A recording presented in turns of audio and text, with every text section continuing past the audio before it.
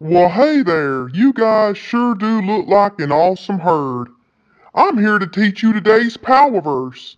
And today's power verse says, As required by the law of Moses after the birth of a child, so his parents took him to Jerusalem to present him to the Lord.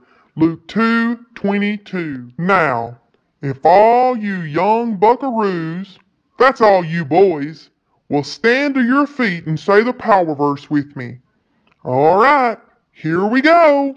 As required by the law of Moses after the birth of a child, so his parents took him to Jerusalem to present him to the Lord.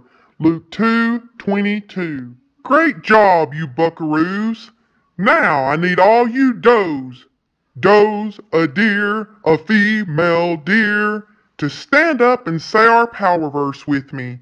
Here we go. As required by the law of Moses after the birth of a child, so his parents took him to Jerusalem to present him to the Lord.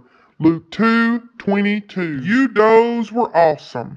Now I need all the buckaroos and all you pretty little does to get up on those hoofs and repeat the power verse after me. Here we go. One, two, three. As required by the law of Moses after the birth of a child, so his parents took him to Jerusalem to present him to the Lord. Luke 2:22. Whoa, that was awesome. This is the best herd I have ever encountered. You guys would make any children's pastor proud. Well, it's time for me to go so you can get into your lesson.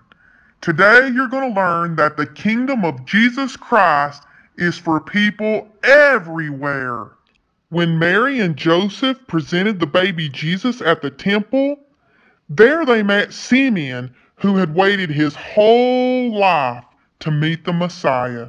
He declared that the new kingdom would not only be for the Jewish people, but Jesus would open the door for all the people of all the world to be saved.